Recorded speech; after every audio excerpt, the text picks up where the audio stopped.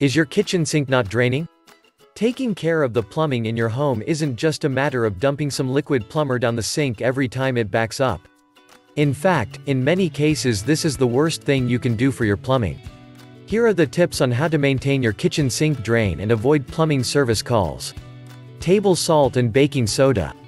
These two ingredients work well to unclog sink drain pipes. Mix baking soda and half the amount of table salt.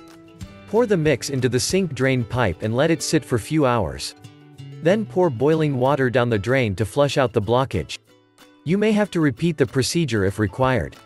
Unclogging with hot water. This method is inexpensive and the easiest to unclog sink drains.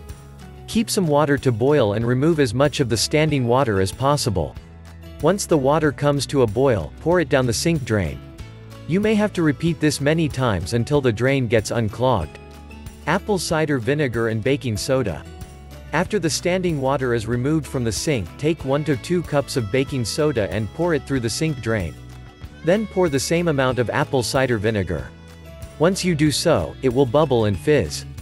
Once it subsides, put the sink stopper and let it be so for the next 15 to 20 minutes. Then pour hot water. However, if it does not unclog, you may repeat the method. Salt and hot water. Salt and hot water together work great to unclog drain pipes. Take about one half a cup of table salt and pour it into the drain pipe. Let it sit there for a few minutes. Then pour boiling water into the sink drain pipe. Unclog with a metal hanger. For this, you need to take an old, not in use metal hanger. Open it up and unbend it to make a long metal wire like a plumber's snake. Use it to pull out the clog or push it out. Then pour hot water. Unclog with a vacuum cleaner. The vacuum somewhat works like a plunger.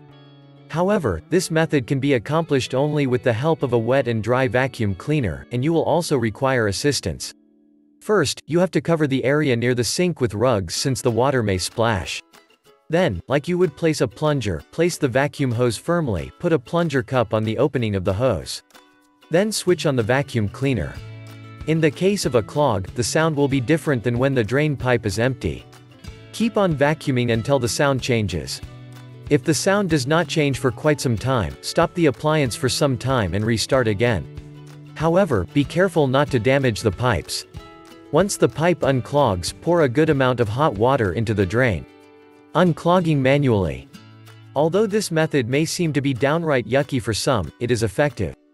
Pull out the sink drain pipe and push the clogged stuff out with a stick. Then put the sink pipe back again. Unclog with a plunger. If your other methods fail, you may try out a plunger. However, before that seal the other outlets with a wet cloth or a stopper. Put the plunger on top of the drain opening and see to it that it covers the drain pipe opening completely.